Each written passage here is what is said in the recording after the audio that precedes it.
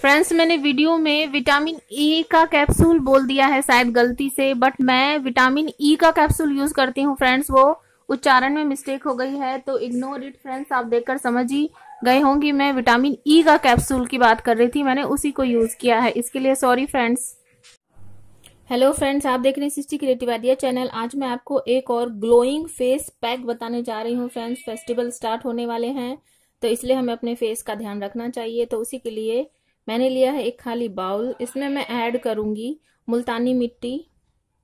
मुल्तानी मिट्टी जो है फ्रेंड्स ये हमारे फेस पर इवन टोन लाती है और हमारे फेस को टाइटनिंग करती है ब्राइटनिंग करती है। तो मैं अपने फेस के लिए बना रही हूँ तो मैं इसमें इतना ही ऐड करूँगी और हाफ़ कॉफ़ी का सैसे ऐड करूँगी। कोई भी कॉफ़ी आप ले सकते हो।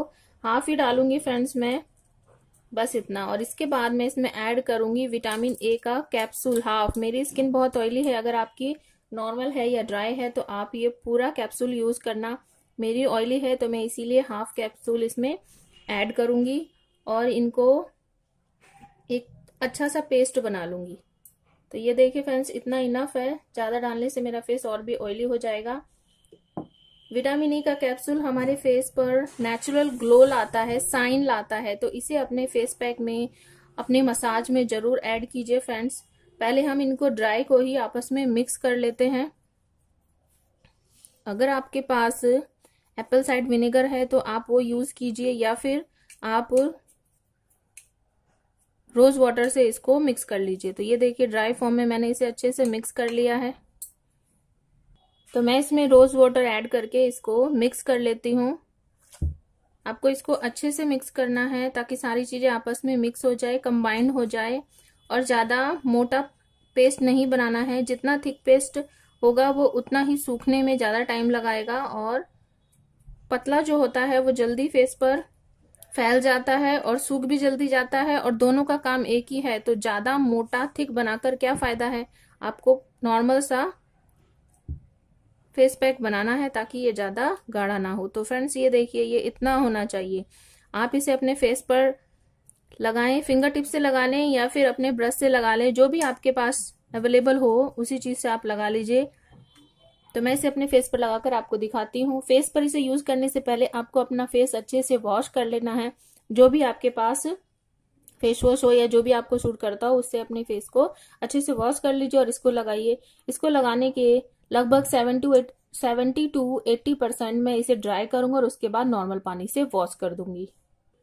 तो फ्रेंड्स इस इस टाइम मेरे फेस पर कोई भी मेकअप नहीं है, मैंने अच्छे से फेस वॉश कर लिया है और मैं इस पैक को लगाकर आपको दिखाती हूँ। तो ये देखिए फ्रेंड्स मैंने इसे अपने सारे फेस पर लगा लिया है। इस फेस पैक को आप फ्रेंड्स हफ़्ते में दो बार लगाइए। ये देखिए फ्रेंड्स मैंने नेक एरिया पे भी लगा लिया है अच्छे से।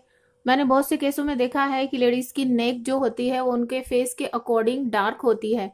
तो मेरे केस में ऐसा नहीं है फ्रेंड्स मेरी स्किन फेस की भी सेम है और नेक की भी सेम है। तो फ्रेंड्स जब भी आप कोई भी फेस पैक बनाएँ तो उसे अपने नेक एरिया पे ज़रूर लगाएँ फ्रेंड्स क्योंकि हमारा नेक एरिया भी हमारे फेस के साथ ही दिखता है। तो फ्रेंड्स मेरा वीडियो अच्छा लगा हो तो लाइक शेयर कमेंट करना और मेरे चैनल को सब्सक्राइब करना। मिलते हैं नेक्स्ट वीडियो में। थैंक्स फॉर वॉचिंग फ्रेंड्स मैंने कुछ यूट्यूबर ऐसे भी देखे हैं जिनके वो वीडियो बनाते हैं तो उनके सिर्फ़ हाथ ही दिखते हैं फ्रेंड्स बस उनके ये हाथ दिखते हैं। ना तो वो स्किन पे हेयर पे कोई भी चीज़ अप्लाई करके दिखाते हैं और ना ही इसका आफ्टर बिफोर दिखाते हैं।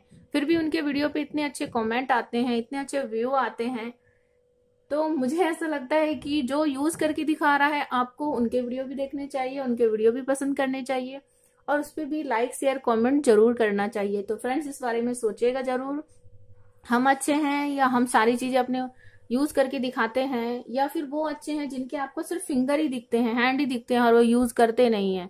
तो फ्रेंड्स मेरी बात आपको समझ आई हो तो एक लाइक ज़रूर कीजिएगा। मिलते हैं नेक्स्ट वीडियो में। Thanks for watching friends